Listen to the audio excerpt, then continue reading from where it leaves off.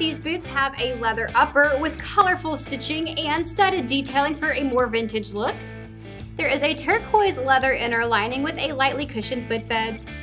These have a square toe silhouette with a pull tab at the top on each side to help you slip these on. They do have a heel at the back that's going to boost you up around an inch in height. Underneath is a lightly textured heel for traction, and I think these would pair very well with some skinny jeans.